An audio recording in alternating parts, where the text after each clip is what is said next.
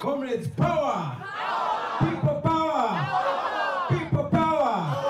Our power!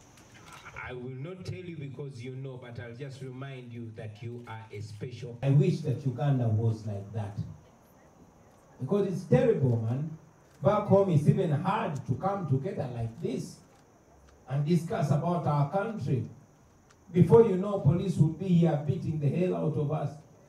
So I don't take this for granted. I thank God for this opportunity. I know you guys are not where you want to be, yeah?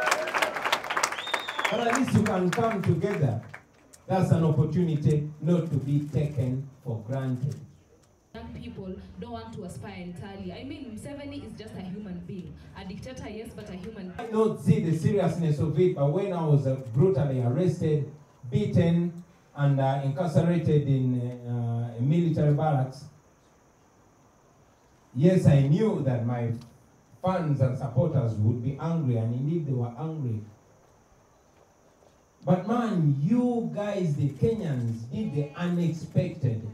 More than 50% of the free Bobi Wine hashtag came from Kenya. Guys, you don't take that for granted. From myself, from my family, and from my wife, I convey a message of appreciation to you. Thank you for standing in solidarity with us. can get rid of all these people who are saying they're our leaders, but they don't speak about issues that affect us as young people.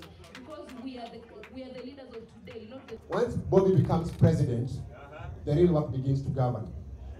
So the jails, the street protests, and even the losses is part of the training to become president.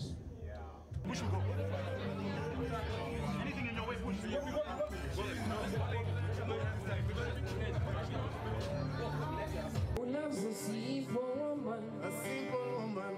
Who wants to love you forever? Hai, sio kama unajua utaimba au sio? Nijue kama mnajua, twende. So, you know I'm a simple man and I love